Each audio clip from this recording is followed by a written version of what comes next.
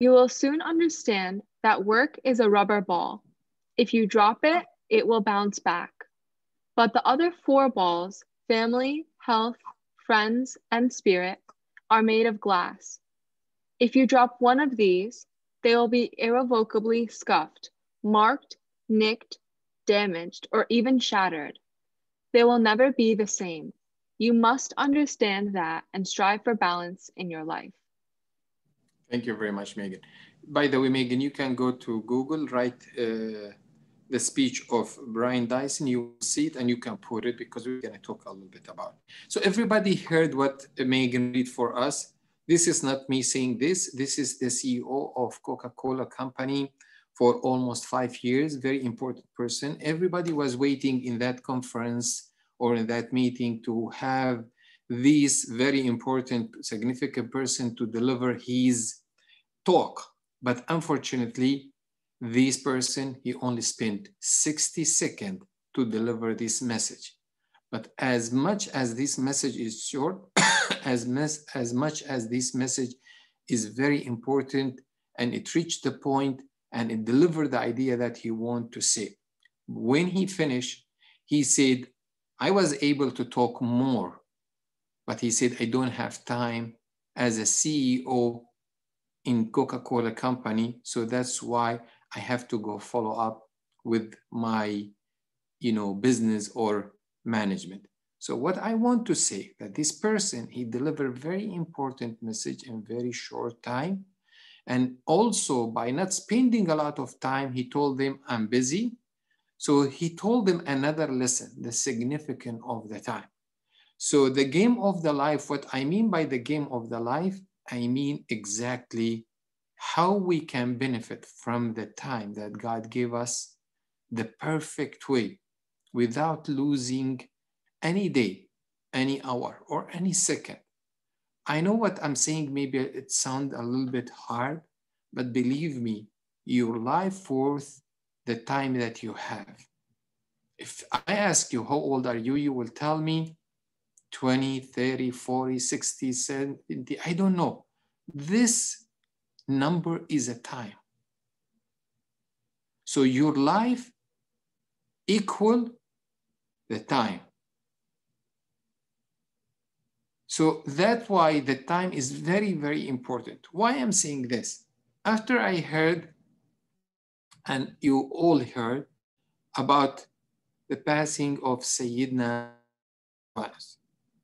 He is only 52 years old. he grew up as an orphanage. So then he entered the seminary, he became a monk, he was serving in the patriarchate, then he become, he went to Athens to study, then he become priest, monk priest like me now, and then later on, he was ordained as a bishop of Homs and the area around. And he was very active. And we all know what happened in Syria since 2011. It's almost nine years. And his city or his town was one maybe of the cities that been attacked big, big time and the church, we have maybe the oldest church in Syria, the church of Umm Zanar, they called, or the mother of the belt, because they have the belt of Virgin Mary over there. And this church is very, very old, very ancient, and very, very big blessing. We have something belong to Virgin Mary, maybe the most valuable part or anything belong to the time or period of the Virgin Mary and Jesus himself. We do have it in that church. And the church was destroyed totally almost. And he kept the belt, Zunoro, we call him. And then later on, when the city was free from the terrorists, he was maybe one of the first people. He, he was there with his people around. Of course, took a lot of money, effort, time, and just name things.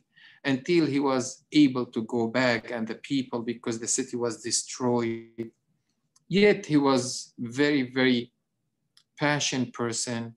He had very good heart, very sweet heart, very pure heart, and he was very generous, uh, very kind to everybody. This is not me saying this, but everybody knows that this bishop, he was very pure and good heart, and he was helping the needy and the poor a lot during this hard time in Syria, and never ever left his archdiocese except when all the people of his archdiocese left the town or the city, he also left. So he was one of the last people to leave the town or the church. But all these things, three months ago, he felt a little bit, uh, you know, tired, numbing left side. He saw the doctor. They did some tests. They find out he had a tumor, brain tumor. The the kind of tumor it was very aggressive very late stage.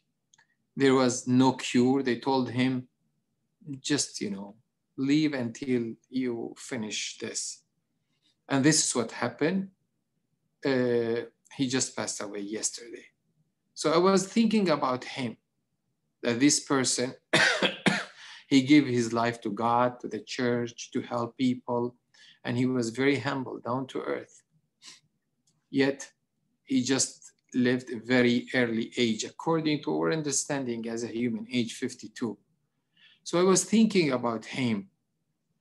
But I have to tell you that no matter what I'm going to say, we have always to understand that the Lord is good. No matter what happened, pain, short life, poverty, uh, hunger, anything if we believe in God, the Lord is always good. We don't know why, but the Lord is always good. We don't have maybe to understand, but we trust. This is what we call the faith. Okay? So I began to think about the significance of the time. And I was thinking about me. I don't know why. I was reading something. It's written 19, uh, sorry, 2014. And right away I begin to connect the death of Sayyidina with this date, 2014. I said, that's like six years ago. Did Sayyidina Silvanus was thinking in six years, 2014, he might be not here with us? He didn't. He was full of energy everywhere, helping, serving God, the church, the people, you know? But when the time come, God called him and he went. We believe he is in much better and comfort place. But the question came to me, if I have six years, if I have two years, if I have 10 years, 15 years, 20 years, 60 years, I don't know. I, I know exactly when I'm leaving, how I'm gonna invest in my life, how I'm gonna invest in my eternity how I'm going to be ready for that time. So that's why I called the game of the life, because really the time is really, really the most significant thing. It's like our life is like a game. And this game, the minute they play the, the beginning, there would be end also. Unlike the movie, we know when it's going to begin, when it's going to end. Our life, we know when it began, but we don't know when it's going to end. That's why it's very important. This person, fair enough, even he was not a Christian. He said, imagine you have five balls in your hand and you play with them in the air and you cannot stop. These five, he named them work, family, health, friend, and spirit. Pretty much he, he covered all the aspect, the physical and the spiritual and the social, our relationship. Okay? He said four balls, they are made from glass. And one, which is the work, it made it, it, it made from rubber. You see, if it fall from your hand, it's gonna bounce, bounce back to you. Unlike the other four, which is family, health, friends, spirit. The minute it falls from your hand, it's gonna be crushed, smashed, shattered. It's there on the screen, you can see it. So what I want to tell you, to have balance in our life, it's very important. If we take any one of these and we go very extremely, except the spirit, we're gonna lose the other. Except the spirit, except our relationship with God. If we go as deep as we go, as more as we're gonna be more careful for our friend, for our work, for our life, and for our friends. So that's why I want just to, to tell you how much I was impressed, but what, but why, uh, but how this person who was not a Christian, this Dyson, when he made the life like ball, okay? And the way you know how to manage it, how to balance it, and you know how to set up your priority in your life because our life is too short. As long as we think it is, it's too short. There is always things you have to do in your life. And managing your time, you would be very successful in the game of your life. And giving to each ball the, the perfect let's say, size in your life, the perfect role in your life, the, the perfect time, it's going to make this good and important balance in your life and in my life.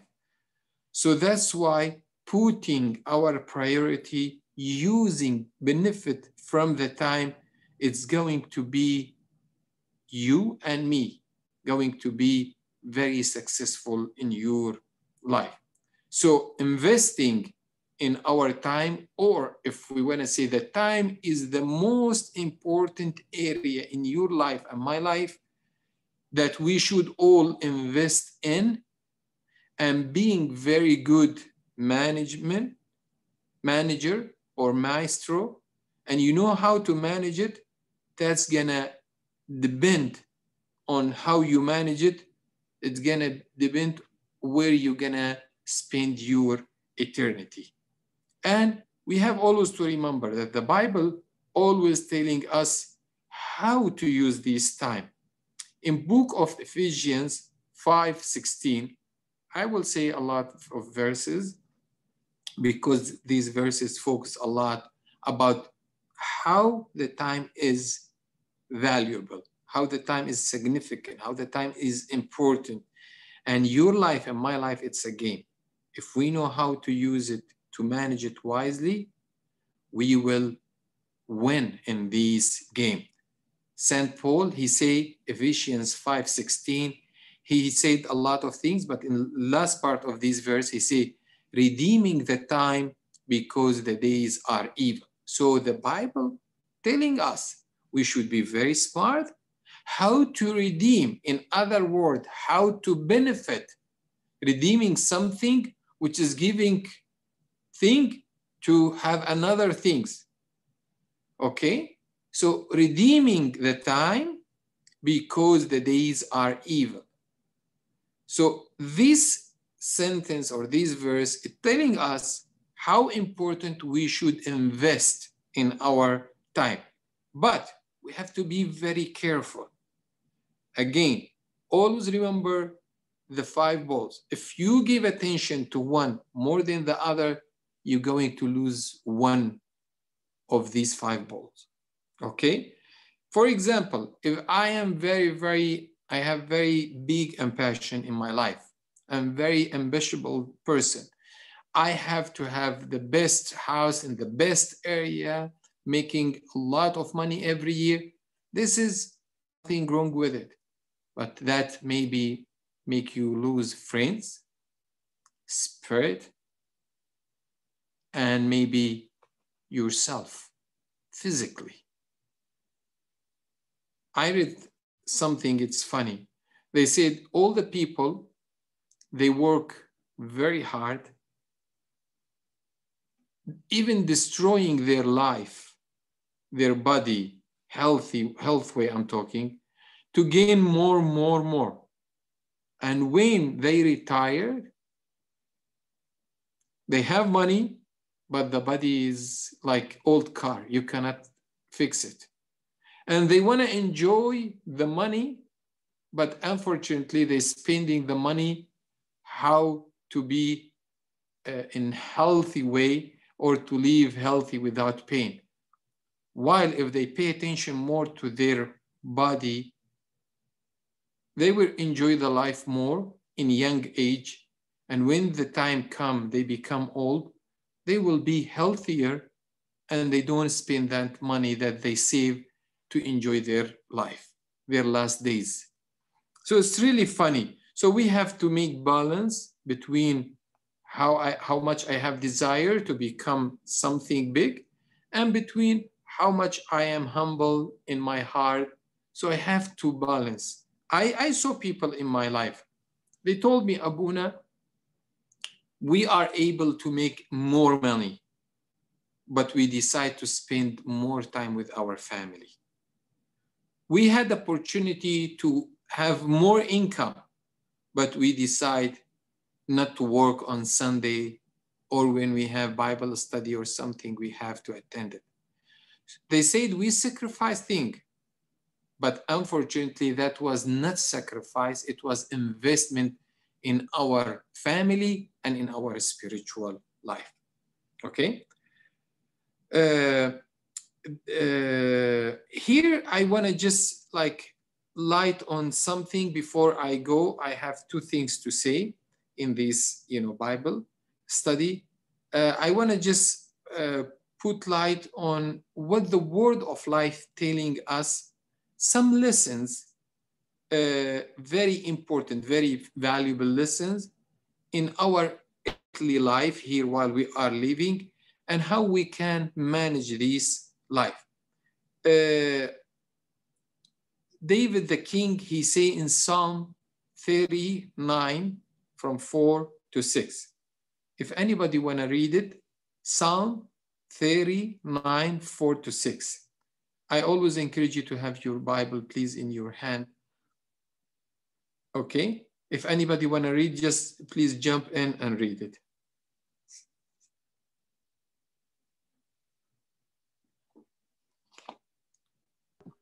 I can read Abuna. Um, four to six, right? Four to six.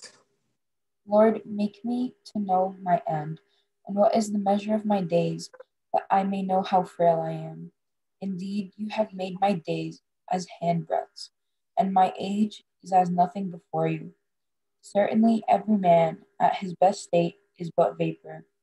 Surely, every man walks about like a shadow. Surely, they busy themselves in vain. He heaps up riches and does not know who will gather them. Amen. So David the king, he realized how much the life is short by writing this thing. He realized that the life of human is like a shadow. He realized that the life of the human, he said it's like nothing. It's like very short. If you measure it, it's like this size. He was talking about my life it's nothing this is what he exactly said surely they busy themselves in vain so it's nothing our life it's all in vain but at the beginning what he say he say lord make me to know my end and what is the measure of my days that i may know how frail i am so he was telling him begging him tell me how much my life. He didn't want to know, by the way, how how many years he gonna live, but he was telling God, please let me always remember that as much as I have money, as much as I am you know, very important person, as a king, as a prophet, uh, making very good things to the people, always make me remember that I'm going to live this life. So according to this, I will always have your fear in my heart. So I will always benefit from my and I will always be ready to meet you. This is what he was exactly telling us. He was not to asking God to know exactly when he is going to leave this life. Now I will go to, to, to talk about why the time is important, why the time is significant, why the time is something really should we talk about it. I will talk about five points why the time is very, very important. Number one, the time is always going. Never ever the time will stop. In other words, you can maybe stop everything except your age, your time. Okay? So there is no way to have like button to press it, to put pause on the time. This is only we see it in the movies. Okay? It happened in the Bible twice. Okay? There was a, a, a king or prophet called Joshua in the Old Testament. He prayed and God, he stopped the sun in the sky. What I want to say, and he made two days as one day. So what I want to say, nobody can stop the time. The time is always walking, always running.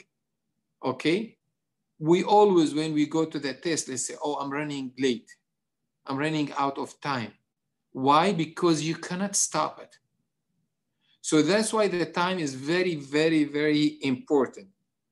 And Solomon in the book of uh, Ecclesiastical, chapter one, and maybe, maybe we'll read more from chapter one.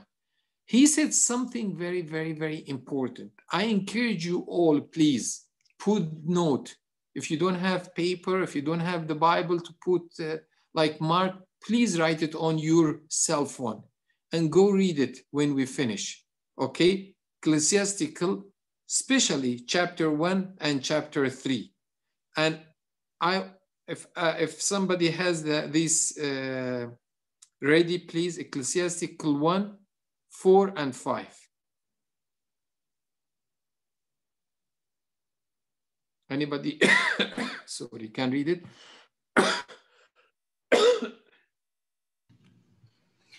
One generation passes away and another generation comes, but the earth abides forever. The sun also rises and the sun goes down, and hastens to the place where it arose. You see, you cannot stop the time.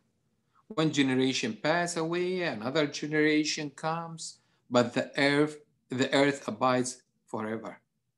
The sun also rise and the sun goes down. Nothing can stop the time. So that's why the time is very important.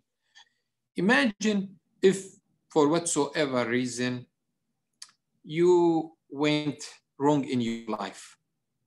Hanging out with bad friend, having something wrong, learning bad habit, and you were in the college, and you were in your third year, and you are about to graduate, and for whatsoever reason, you couldn't make it, and you fell in your classes.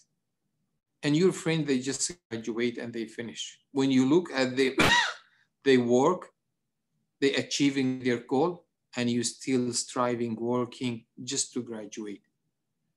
You always regret and you say, I wish, but what? Guess what? You can do nothing. You cannot stop the clock. Every single second it goes from your life and my life. So that's why we cannot stop the time. Another uh, reason the time is important you cannot bring the past. You cannot go to your past, fix something, and then you come. I want to tell you something. When I'm talking about the past, I'm talking especially about when we use our time in vain, we waste it. And when we do mistakes in our life, when we make sense in our life, or when we make bad decision in our life. By the way, if I have done the worst thing ever and I come to tell him, Lord, forgive me, he will forgive me. He will tell all my shame. He will wash me whiter than the snow. But sometimes the result of my mistake won't go away. Imagine if I made wrong decision in my life. I was driving very hard, very fast, and I didn't uh, care for what people saying, and then I had accident. Okay, I did something. I don't know. I hurt somebody. I hurt myself. If I go to God later on, tell Him, Lord, if I hurt somebody, please forgive me. I maybe caused that person losing part of from his body or whatsoever. God will forgive me. Maybe that person also will forgive me. But guess what? That person, he will remain without that part. If he lost, let's say, leg or hand or eye or whatsoever. So the result of our mistakes, we cannot change it. The mistake, yes, God will forgive it, but the result of our mistake will remain. So since we cannot go back and fix the time, we cannot go back to fix our problem and to benefit from our time.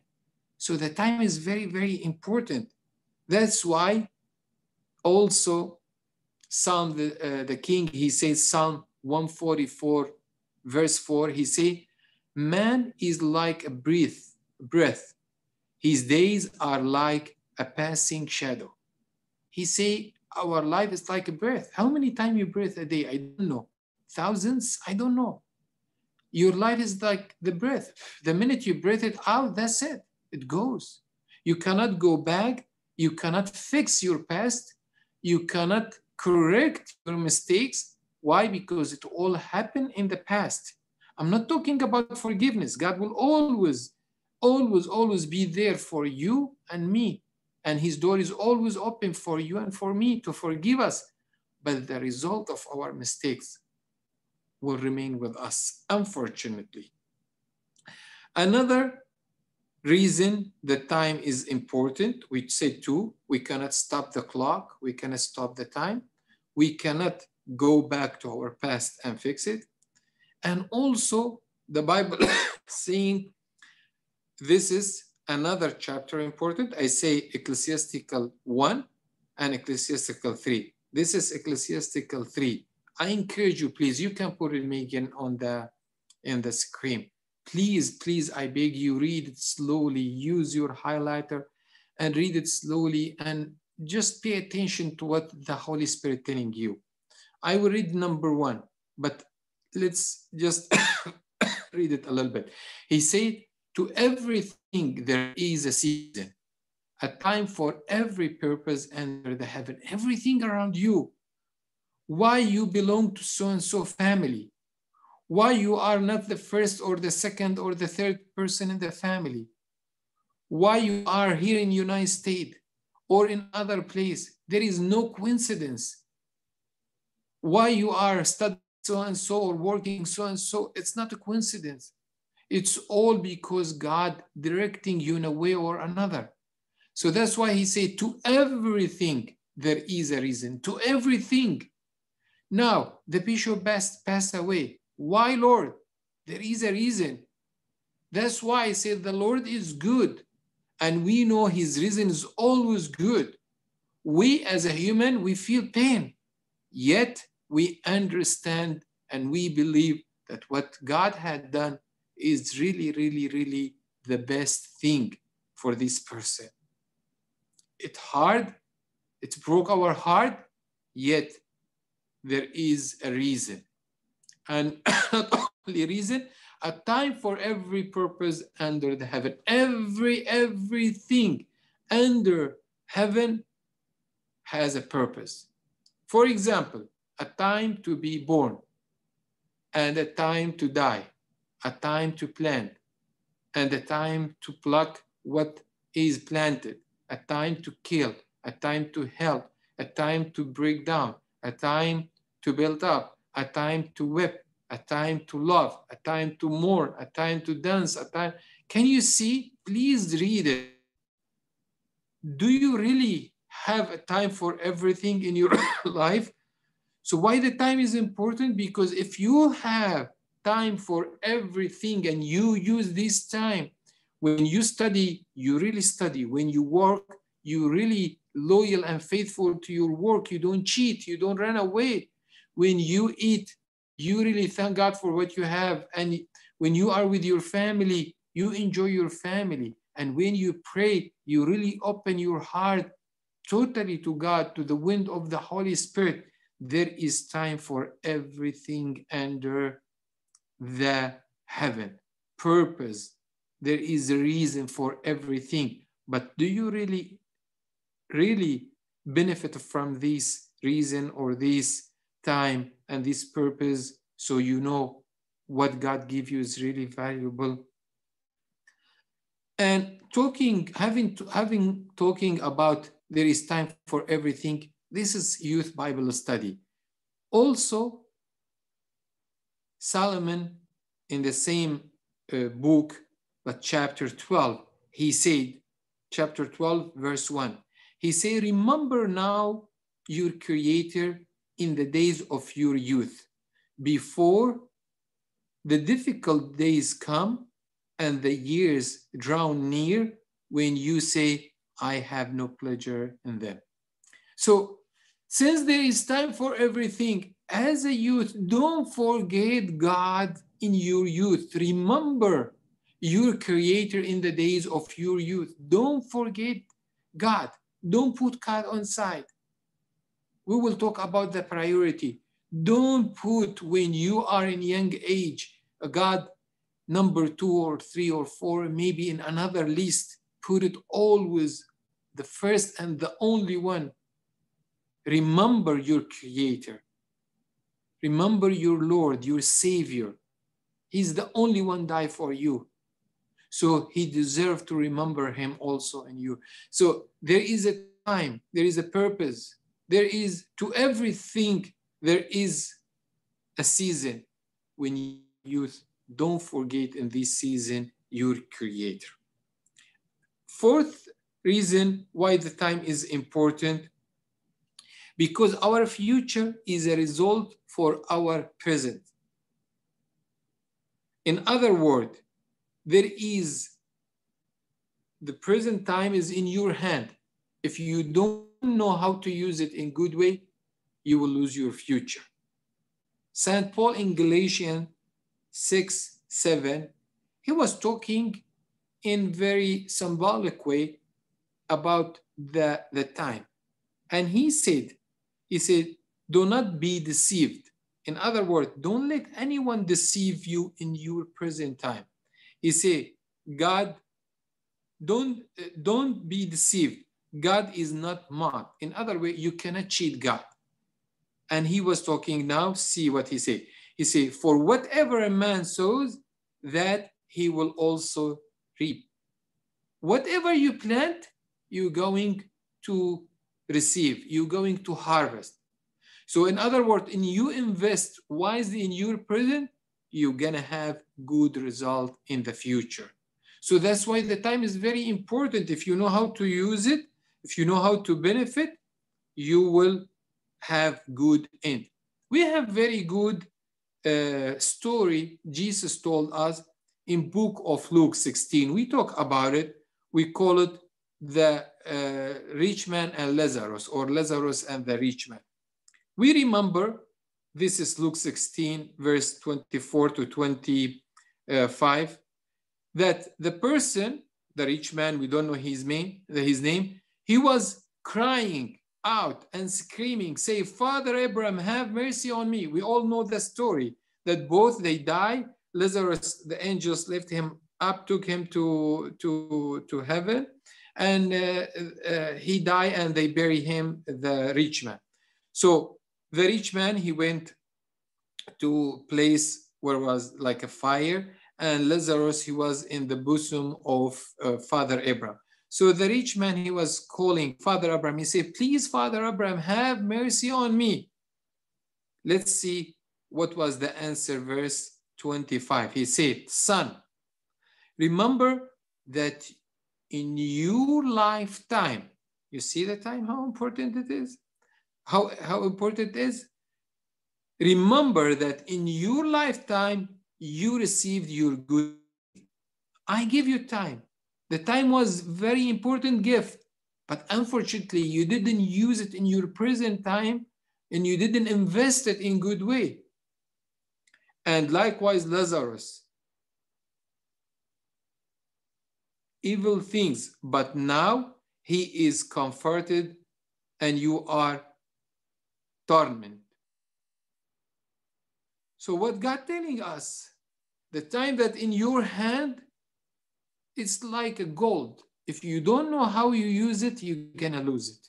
If you don't know how you're gonna benefit from it, you won't actually reap. You won't have good future, good fruit in the future. So that's why the time is very, very important. And the last reason why the time is important like Sayyidina Silvanus, God bless his soul and bless all of us with his prayer, the life can end up in second. I remember one time I read, I was preparing a sermon for funeral. So I was reading, I really like this and it's stuck in my mind. I always use it in funeral. They say there is a season for everything in this life. To the people, to the animal, to the greens, trees around us. Everything has season. The day has morning, afternoon, noon, night. everything, the year, January, February, spring, everything has season except the death has no season. That's why we don't expect when it's gonna come. Sometimes people very early, very healthy. Some people very old, not healthy, yet they are alive. We don't understand. So why the time is important? Because we don't know when our life gonna end. That's why we have to be very, very careful. And our life, as we mentioned, it's like short. And Saint Luke, he say in chapter 12, 19 and 20, he was always talking about how important to be ready in a parable called uh, the rich fall, the parable of the rich or the man, the rich man fall. He was rich, he was smart how to collect money, yet he was full, the parable of the rich fool, okay? Verse 19 and 20. Can anybody read it, please? And especially 20. This person, he was, he was, you know, sowing. He had very good harvest, and he made his storage very big, and he stored a lot, a lot of thing.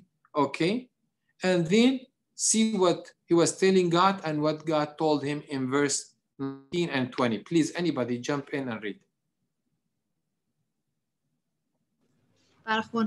Uh, Abuna, and I will say to my soul, Soul, you have many goods laid up for many years. Take your ease, eat, drink, and be merry. But God said to him, Fool, this night your soul will be required of you. Then whose will those things be which you have provided?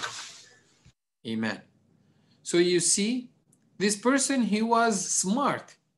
He was know how to collect his, his goods. He's rich. But in the eyes of the Lord, he was full person. And he told him, tonight, this night, your soul will be required of you.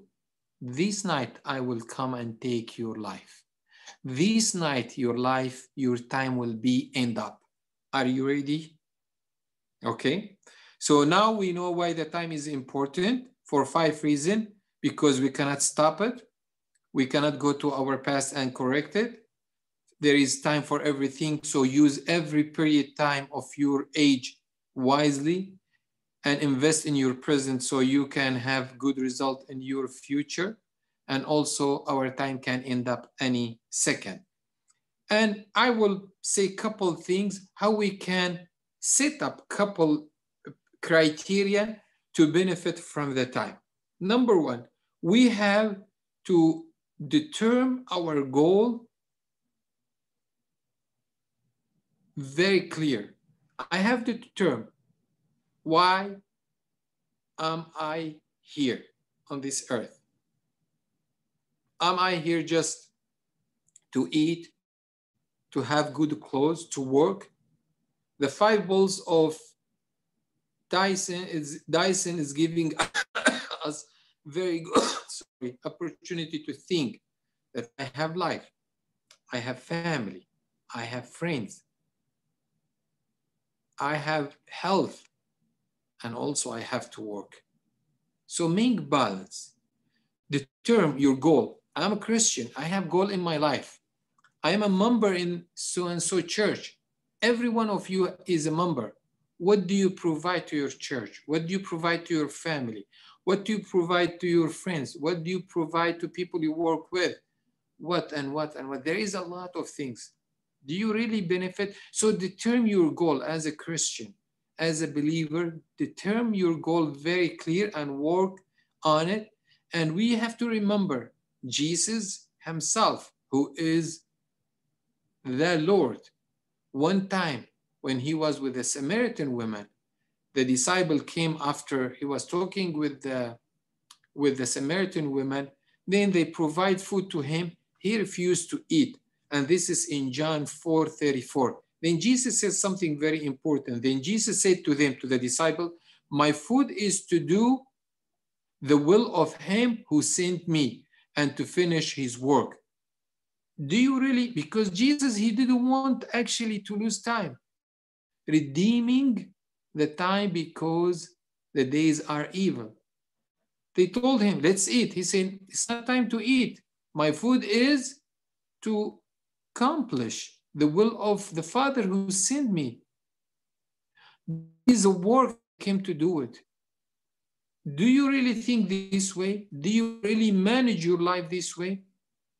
So you have to always set up your goal very clear and work on this goal. Now time to study. How much I should spend time in the school and study. How much I should spend time with my family, my devotion, praying, going to church, receiving communion. Set up very good schedule, benefit from your time. Also, uh, set up your uh, priority. This is very, very important to set up your priority. Now I'm in the school, so my first priority maybe is to study. Now I work, maybe my first uh, first priority maybe to be more loyal and work hard to learn how to do my job. Now um, maybe engaged, maybe my priority I have to know more my fiance. Now I'm married, how I can build very Christian family and house Now I have kids, how I can watch over my kids, planning how to bring them or brought them in the Christian values. So always set up your priority, but don't forget, always number one has to be God. Through God, you can see everything and you can set up everything in very good order. Okay. Number three, also things to set up or goals to set up in your life, also you have to distinguish between something important and something, uh, what can we call it also? I don't know what to call it. I'm just looking for a good word. Urgent things. So between important and urgent. Unfortunately, the system of the life that we live in made everything urgent. Drive through, taking food, eating while I'm standing. I don't sit with the family. wearing clothes and putting makeup for the girls while I'm driving to school or to the work, making call and talking and watching and like everywhere. Be, our life become like a machine. So between urgent and important, what's important? Focus on it. What's urgent? Be careful. You know, I was watching other day like a documentary movie. I don't know if I mentioned it or not. So uh, the guy who was visiting one of the city in the Middle East, I think it was in Turkey, he said what really brought my attention that all the people sitting front of their, you know, homes or, you know, business, chatting, the neighbors, laughing, he said, if I want to go one time, choose a place to live, he said, I will choose that city because the people living very happy life. They all working, but they enjoying their uh, each other and they chat, they socialize. You see, their life is so good. So what I want to, to tell you, always distinguish between, you know, your important things and your urgent things. And if your life become all urgent, you will end up like a machine, work very hard, and at certain point it's going to be broken down. Yes, we have to run sometimes, but if you do all the time, you will end up depressed or anxiety, or I don't know what you're gonna end up with. Number four, always ask the Lord and wait for his guidance and sign how to use your time. In other words, ask God. Tell him, Lord, now I'm looking for work. Give me this opportunity to benefit. But until I will find work, maybe I will go help in charity things.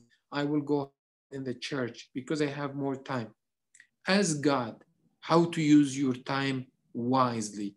Because if you put your time in the hand of the Almighty One, the Almighty One always, He will put you in His schedule and will make you benefit from the time the best result ever you will receive. Okay? And the last thing, always, as I just say, redeeming the time because the days are evil. I will end up with a small story about a young guy who was visiting with his mom, you know, the store, and uh, his mom gave him one dollar to spend. So the guy, he was where the candy, where the sweet things, and he was looking, and his mom, she was just, you know, rushing him, telling him, let's go fast. It's only one dollar. Just, you know, buy anything. He looked to his mom. He said, Mom, I want to buy the best thing because I only have one dollar. And you and me, we only have one life. Be careful using your time because you don't know when God will call you and call me. If I have 10 lives, believe me, I will use one life just having money. Try to, you know, save money. The second life, maybe get married. The third life, maybe enjoy. The fourth life, maybe having kid. But since I have one life, let me use this life wisely and bless the Lord with the time that I give me because you remember the talent, the, the parable of the five talents? The most important talent that God gave all the human equally is the time. If you don't know how to use it, you only have one time. Please today, before you sleep, stand up in your room, stand up in your room, say, Lord, did I benefit from my life or not? If not, please tell him to guide you how to benefit from your time spiritually because the days are evil.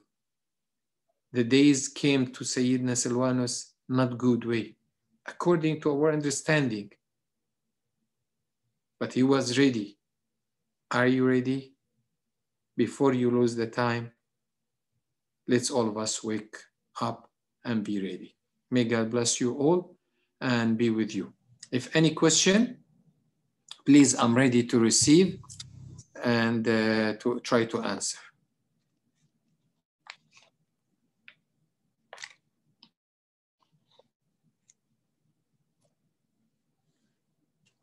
Abuna, No I have a question. Yes, Megan. Um, it doesn't so much have to do with what you explained to us, but I was wondering what the significance of having so many like memorial services are in our church. So like the 40th day and then the year and like the yearly. Sorry, I really didn't uh, get it. Can you repeat it, please? Yeah, so I was wondering because of what- you, because of me. I don't know. I didn't get it. Go ahead. It's okay. I was wondering what the significance of having so many memorial services are for the people who pass away in our church. So, for example, we have like the 40th day and then the yearly. I will try maybe to answer, you know, you know, shortly. Uh, but uh, when we talk, maybe one day, I really apologize about the parable of story of Lazarus and the rich man. Maybe we can talk about it. We can make Bible study just talking about this. Uh, the memorial has too many, uh, uh, let's say, aspect. Number one, we do the memorial for the family. And this is very, very important. Okay. I lost my grandfather, whom I was so close to him. So when I want to remember to him. And also, uh, so this is comforting the family. The prayer in the church is the best way to, to deliver some condolences and comfort and sympathy to the family whom they someone okay and also uh, our prayers help doesn't change as as as far as the bible and the holy fathers of the church telling us is not going to change the place of the person who passed away. But if he is in good place our prayer is going to be like connection between we called earthly church and heavenly church. We're going to have connected. So we pray for them they pray for us. Okay? If for god bid they are in bad place our prayer going to be as a shadow over somebody who is in very hot sun yet doesn't change where is he. Okay?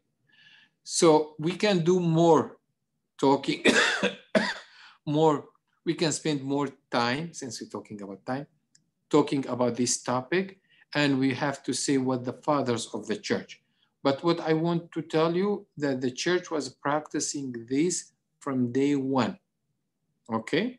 So we must have things in the traditions of the church that it's not written in the bible okay? And st paul is talking a lot of time about the significance of tradition.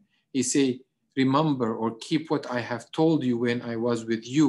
So there is a lot of things was saying and it's not written okay? So the prayer for uh, the uh, for the departed one it's for the family and for him as well. But if he is in bad place this is what i want you really to know our prayer won't change his place. That's period.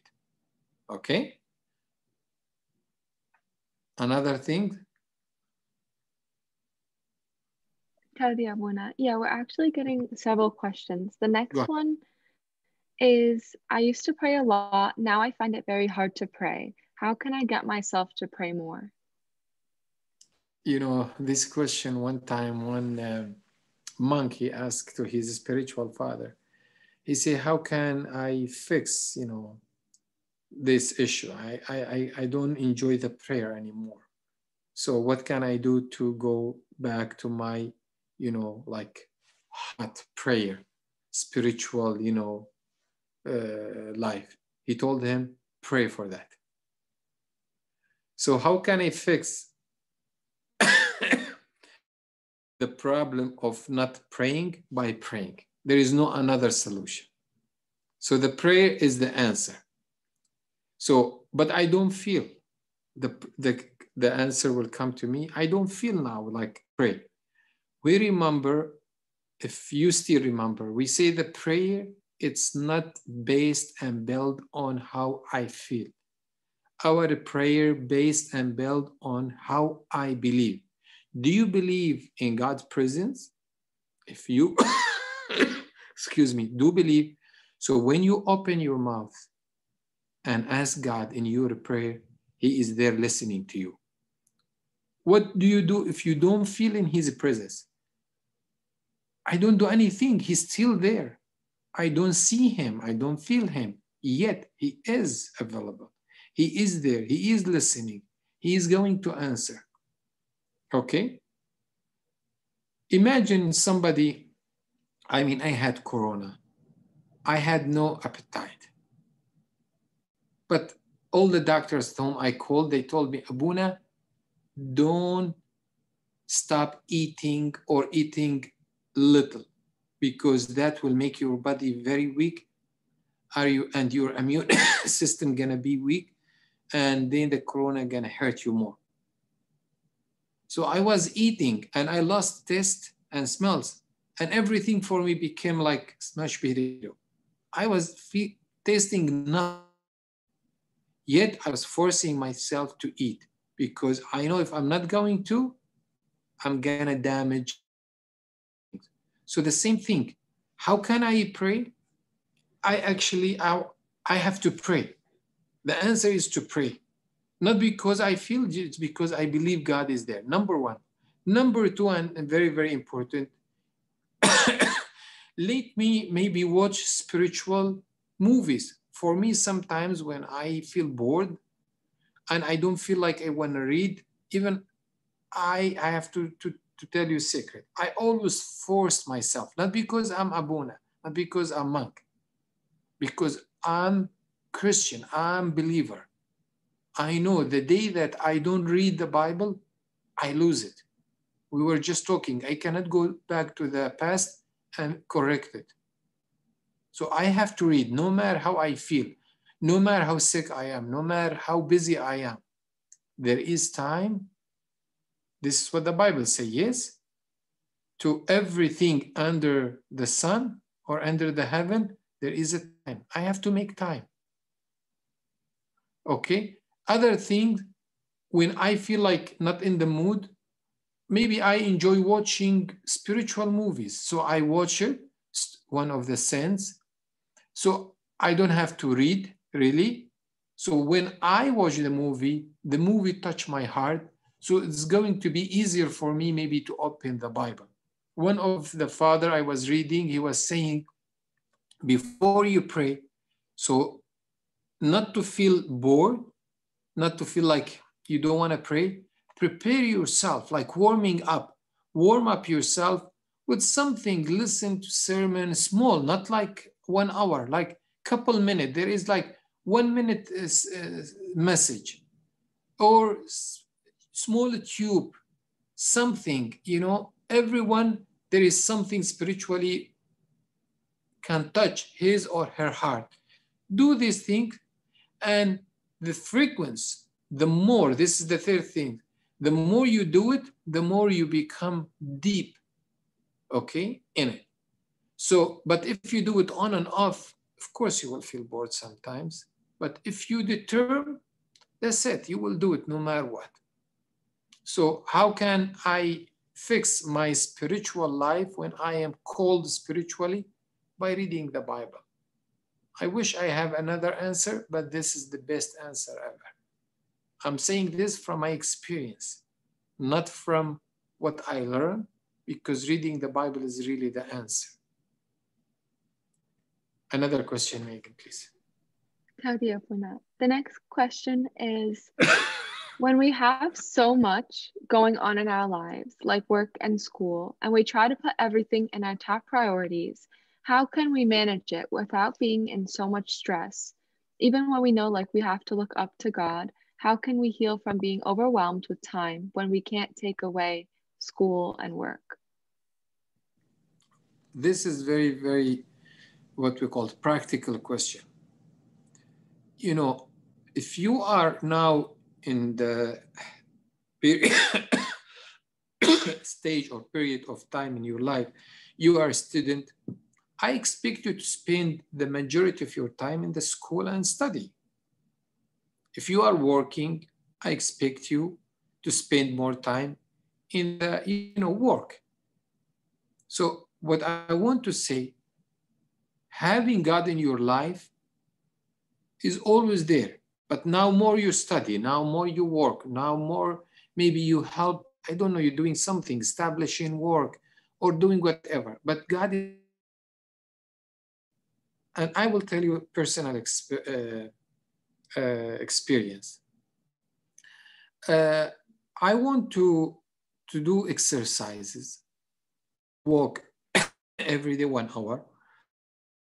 And to be honest with you, here, either it's summer, hot, or winter, cold. So outside, it's like not good place to walk. We have good days. It doesn't mean that we always don't. But I didn't know when, so I decided to wake up early, like six o'clock, five o'clock, especially in the summertime and springtime and full time, so I can walk outside. So that was my decision. But what's gonna happen to my sleep? Slowly, slowly, I get used to it. So I wake up doing my exercise, walking, not really exercise, just walking for one hour, listening to sermon, to spiritual messages, to liturgy, whatever. Then I go back to do my devotion and go to the, you know, continue my day. Okay. In my day, as Abuna here monk in the monastery, we have morning prayer and noon prayer. That, that I consider it as a work. It has nothing to do with my own personal uh, spiritual life. So what I want to say, I find out it was very hard for me to wake up like 5.30 every day. But after a while, I, I saw myself like, no, I can do it and I enjoy it. So to push yourself every day, like a little bit, 10 minutes is not going to 10, 15 minutes to spend it with God in morning or before you sleep, believe me, it's not going to destroy your day. Reading Bible, do your devotion, these 10, 15 minutes is not big time. You can find good place in your schedule to feed it. But the, the, the problem is if God is not number one, unfortunately, I'm not to find for him. For example, I eat every day. I change my clothes every day. I took shower maybe every day. I breathe every day. But maybe I don't go to the mall every day. If you don't drink coffee, you don't every day. So there is some issues you can put it number two or three in your priority and you can live without it. But some issues you cannot. if you that God is something out of a lot of things and you can live without it, you will find no time for him. But if you believe strongly that you cannot live without, believe me, you cannot pass your day without spending these 10, 15 minutes with him.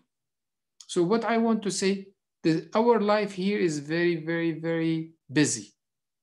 But as busy as it is, we can find time to God in this busy schedule. I don't know when in your day, but you can find. But if you don't think God is essential, so you're going to leave God leftover time to give it to Him. And this is bad. So I'm not pushing you to be monk or to be nun to spend every day four hours, six hours, or whatsoever. But now, as student, maybe you have a lot to do.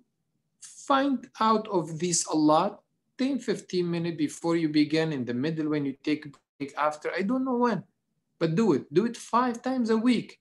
And Sunday you spend it on in the church. You go to church. So this is fair enough. If you skipped one, two days once in a while for whatsoever reason, don't feel bad. We all have this, you know, bad, you know, management sometimes, but don't make it as a habit. Last question, if we have a question. Yeah, we have actually two more. Um, I don't know, Abuna, if you can Sorry, because we can have a Q&A one more time, you know? So that's Yeah, I think we can save the the last one, but this one I think would be helpful for everyone to hear. It says when people die young, for example, from cancer or disease, did God know beforehand that this would happen? If so, will our prayers change their fate? God knows everything. You can open Psalm 139, you will see God knows everything and we can run away, we cannot run away from him. Okay. Does our prayer change?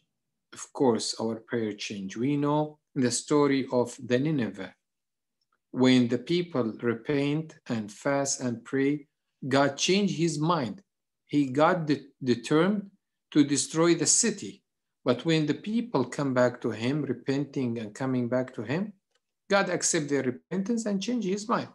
So our prayer can move the hand of the Almighty One to do miracle. Why the miracle happen with some people and doesn't happen with other people? We don't know why, but we trust the goodness of the Lord. So this is what really important have to, we have to know that if the miracle doesn't happen with me, it doesn't mean that God doesn't love me. F- I'll give you example. Do you know how Saint Peter died?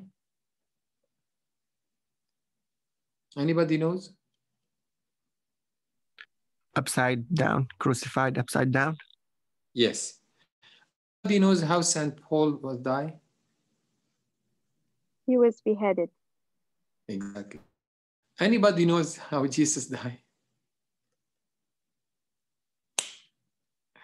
So what I want to tell you, Jesus, he prayed himself. He said, Lord, please take this cup from me, but let your will be done, not my will. So we pray, but we trust his good will. We don't trust what we really want. Because what I want, maybe it looks good to me from now here to another year, 10 years, but for my eternity, is it the better thing to have? Better thing to ever happen to me? I don't know. So our prayer can change. Our prayer can do a lot.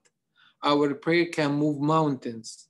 Our prayer can open the eyes of the blind people, helping. But why it doesn't happen with this person, doesn't happen with that? This is we don't know. Let your will be done, not my will, because his will is always good. God knows, absolutely knows, and absolutely is there for us. By the way, the death is not something bad. So if you consider the death something bad, it's absolutely wrong. The death, it's beginning of the eternal life, is the door to the eternal life.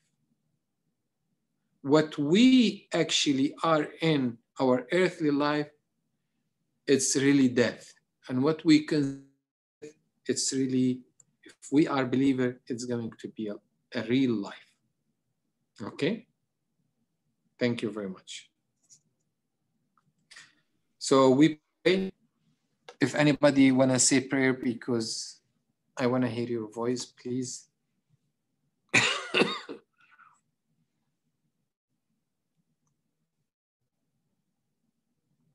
please don't let what I say today go just in the air.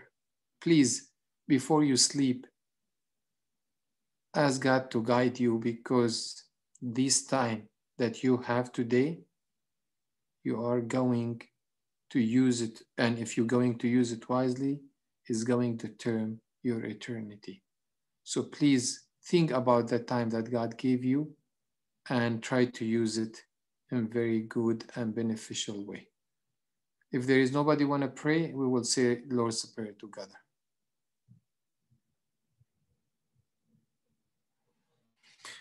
Shema Bobraha Qadishu Hadalo Shahri our Father who art in heaven, hallowed be thy name. thy kingdom come, thy will be done on earth as it is in heaven.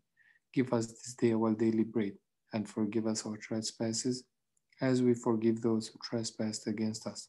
And lead us not into temptation, but deliver us from evil one. For thine is the kingdom, the power, and the glory forever and ever. Amen. May God bless all the time, all the days of your life. Don't forget, next week we have very, very important and interesting Bible study with Moshe Imad Siriani. He's going to talk about the Holy Trinity a little bit, then the Holy Spirit in very practical way in our life. Okay? May God bless you all. See you.